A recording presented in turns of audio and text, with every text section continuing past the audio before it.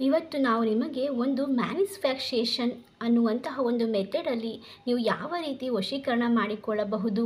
ನೀವು ಇಷ್ಟಪಟ್ಟಂಥ ವ್ಯಕ್ತಿಯನ್ನು ನಿಮ್ಮ ಕಡೆಗೆ ಬರುವಂತೆ ಸೆಳೆದುಕೊಳ್ಳೋದು ಎಂದು ಹೇಳಿಕೊಡುತ್ತೇವೆ. ಇದೊಂದು ಯಾವುದೇ ರೀತಿಯ ಮಂತ್ರತಂತ್ರ ವಿದ್ಯೆ ಅಲ್ಲ. ಇದನ್ನು ಹಲವಾರು ಕಾಲದಿಂದ ರಾಜರು, ಮಹಾರಾಜರು, ಹೋಮಿಯೋಪತಿ ಅಥವಾ ಟೆಲಿಪತಿ ಅಂತಾರೆ ನೋಡಿ ಆ ರೀತಿಯಾಗಿ ಇದು ಒಂದು ಮನಸ್ಸಿನಿಂದ ಮನಸ್ಸು ಮಾತನಾಡಿಕೊಳ್ಳುವ ಒಂದು ಮಹಾವಿದ್ಯೆ. ಇದನ್ನು ನೀವು ಯಾವಾಗಲೂ ದಿನ ಬೆಳಗ್ಗೆ ಅಥವಾ ರಾತ್ರಿ ಸಂಜೆ ಯಾರೂ ಇರುವಂತಹ ಜಾಗದಲ್ಲಿ ಗಲಾಟೆ ಇಲ್ಲದೆ ಇರುವಂಥ ಸ್ಥಳದಲ್ಲಿ ಕುಳಿತು ಮಾಡಿಕೊಂಡರೆ ಸಾಕು, ನಿಮ್ಮ ಮನಸ್ಸಿನ ಮಾತು ಅವರಿಗೆ ತಲುಪುತ್ತೆ. ನೀವಾಗೇ ಹೇಳದಿದ್ದರೂ ಅವರಾಗಿ ನಿಮ್ಮನ್ನು ಹುಡುಕಿಕೊಂಡು ಬಂದು ನಿಮಗೆ ಪ್ರೀತಿಯನ್ನು ವ್ಯಕ್ತಪಡಿಸುತ್ತಾರೆ. ಗಂಡ, ಹೆಂಡತಿ ಜಗಳವಾಡುತ್ತಿದ್ದರೆ ಅದು ಕೂಡ ಸರಾಗವಾಗಿ ಕಡಿಮೆಯಾಗುತ್ತದೆ. ಈ ಒಂದು ತಂತ್ರವನ್ನು ಯಾವ ರೀತಿ ತಿಳಿದುಕೊಳ್ಳೋದು, ಮಾಡೋದು ಎಂದು ನೋಡೋಣ. ಅದಕ್ಕೂ ಮುನ್ನ ನಿಮ್ಮ ಜೀವನದಲ್ಲಿ ಇರುವಂತಹ ಸರ್ವ ಸಮಸ್ಯೆಗಳು, ಅತ್ತೆ, ಸೊಸೆ, ಕಿರಿಕಿರಿ, ಗಂಡ, ಹೆಂಡತಿ ನಡುವೆ ಜಗಳ, ಪ್ರೀತಿ ಪ್ರೇಮದಲ್ಲಿ ನಿಮಗೆ ಮೋಸವಾಗಿದ್ದರೆ ಸ್ಕ್ರೀನ್ ಮೇಲೆ ಕಾಣುವ ಗುರುಜಿ ನಂಬರಿಗೆ ಕರೆ ಮಾಡಿ. ಇವರು ನಿಮಗೆ ಸೂಕ್ತವಾದ ಪರಿಹಾರವನ್ನು ಕೇವಲ ಫೋನಿನ ಮೂಲಕ ತಿಳಿಸಿಕೊಡುತ್ತಾರೆ. ನೋಡಿ ಸ್ನೇಹಿತರೆ, ಮೊದಲಿಗೆ ಒಂದು ನಿಶ್ಶಬ್ದವಾಗಿರುವ ಸ್ಥಳದಲ್ಲಿ ಕುಳಿತುಕೊಂಡು ನಿಮ್ಮ ಕಣ್ಣನ್ನು ಮುಚ್ಚಿಕೊಂಡು ನೀವು ಇಷ್ಟಪಟ್ಟಂತಹ ವ್ಯಕ್ತಿಯನ್ನು ನೆನಪಿಸಿಕೊಳ್ಳಿ.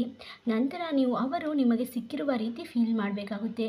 ಮತ್ತು ನೀವು ನಿಮ್ಮ ಪ್ರೀತಿಯನ್ನು ಅವರಿಗೆ ವ್ಯಕ್ತಪಡಿಸುತ್ತಿರುವಂತಹ ರೀತಿಯಲ್ಲಿ ನೀವು ಮನಸ್ಸಿನಿಂದ ಹೇಳಿಕೊಳ್ಳಬೇಕು.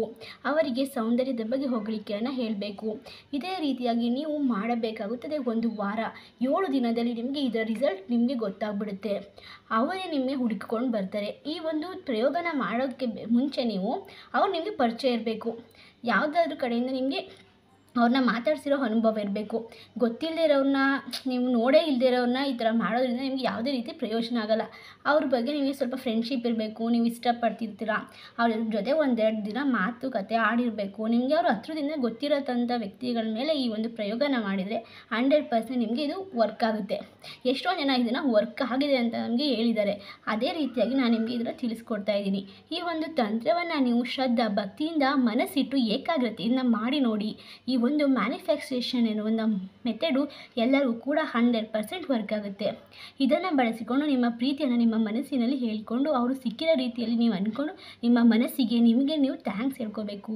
ಯೂನಿವರ್ಸ್ಗೆ ಥ್ಯಾಂಕ್ಸ್ ಹೇಳಬೇಕು. ಈ ಒಂದು ತಂತ್ರವನ್ನು ಮಾಡಿ ನಿಮಗೆ ಹೆಚ್ಚಿನ ಮಾಹಿತಿ ಬೇಕಾದಲ್ಲಿ ಸ್ಕ್ರೀನ್ ಮೇಲೆ ಕಾಣುವ ಗುರೂಜಿ ನಂಬರ್ಗೆ ಕರೆ ಮಾಡಿ.